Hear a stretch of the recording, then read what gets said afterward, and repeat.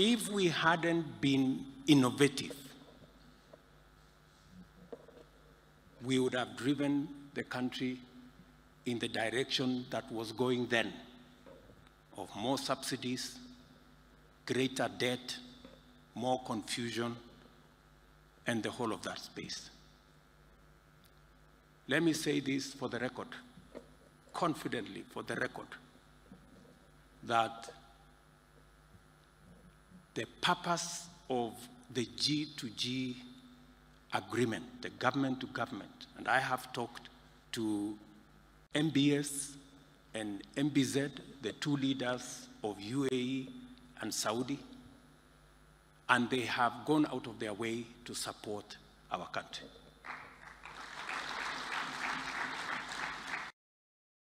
The success of each and every one of us is going to be our collective success.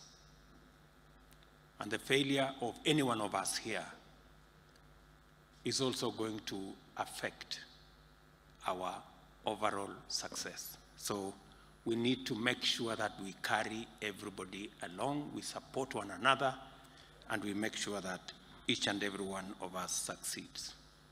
It is my intention to support each and every one of you in whatever it is that you are doing. I am available for consultation. I am available for advice. We can share ideas and we can consult on many of the issues that come your way as you discharge your mandate in the state departments that you run, in the ministries that you are charged with. Public participation now is not just a sterile provision in the Constitution, it is a live instrument of governance. And therefore, whatever it is that we do, because ultimately it's about the people, we must get the people to speak to it.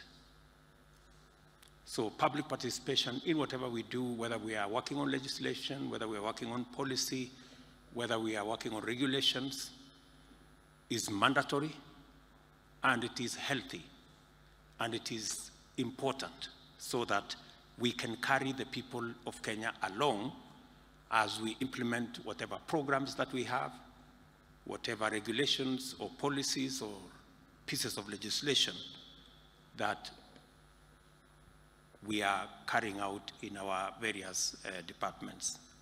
To follow through some of the decisions that we have made, some of our programs, and to make sure that our manifesto becomes the single guiding instrument of governance that we have, especially when we are running government programs, I have established the office of execution in my office to make sure that we execute every agreement, every uh, decision that we have made, we see to it that it gets to conclusion. So Adan Mohammed will be knocking on your doors to ask you about this decision, how far are we, and he will be doing it on my behalf because, as you know, I regularly engage with you to find out how far we are going. Now there will be a tracker in my office on every commitment that we have made, every decision that we have made, and uh, we will want to make sure that we discharge ourselves of any commitment that we have made in the manifesto or in the course of doing our business.